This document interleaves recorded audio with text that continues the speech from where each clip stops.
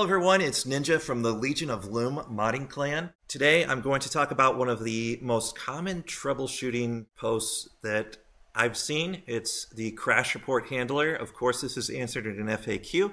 There's two reasons this happens. First of all, shout out to Dom for posting this screenshot. Thank you. I hope we answer your question today. First reason this happens. Um, I'm launching from Mod Manager with mods and crash report handler happens. Well, that just means that you haven't used the correct anti-cheat. So let's go back into our Madden files, which for me is on the C drive program files, EA Games, Madden NFL 25. If you're using Steam, it may be in a different location. What you want to do is to check and make sure that you have the original EA anti-cheat renamed. So you can tell it's the original because you have the EA logo. It's about 16,000 kilobytes. And I have it renamed here with the underscore in front of it, actually two underscores. You can tell the difference between the fake anti-cheat because it does not have the EA logo and it is only about 69 kilobytes. So it's much smaller. If you are trying to launch with mods, you need to have the fake anti-cheat active. So you don't want this renamed. You want the original anti-cheat renamed.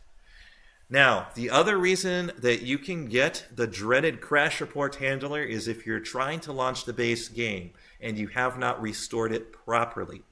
So even though, going back into the folder here, even though you may have already renamed, let's just, the fake anti-cheat, hit continue, and renamed the original anti-cheat, or well, restored the name on it actually.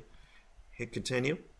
Even if you've done that properly, that's not enough. If you had previously launched with mods, there are files in in this folder that need to be removed for the base game to function properly. Assuming that you're not like in the middle of an SDK update or something like that situation, um, the best way to handle that is to hit the Restore Madden 25 button in the Mod Manager. Now, just before I do that, let's cover a couple things.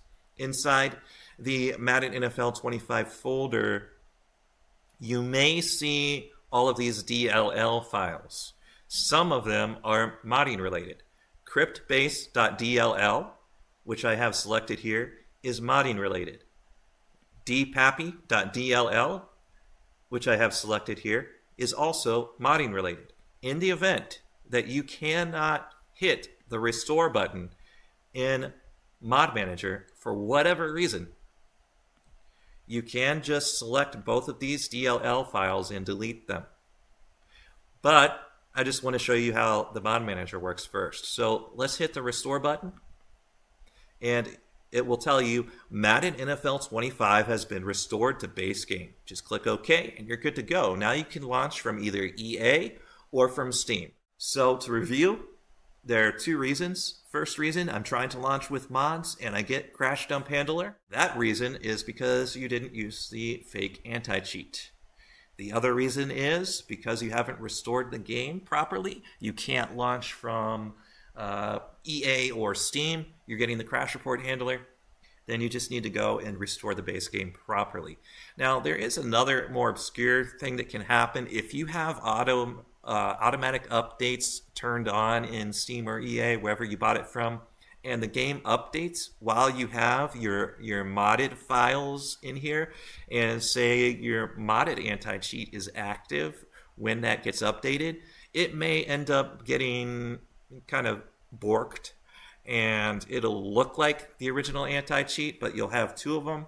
It'll be kind of jacked up. Just delete them if you're not sure which one it is, repair the game, and then redo your mods uh, according to the tutorial, and you'll be all set. So I hope that solves your problem. Uh, please enjoy the mods and have a great day. Legion.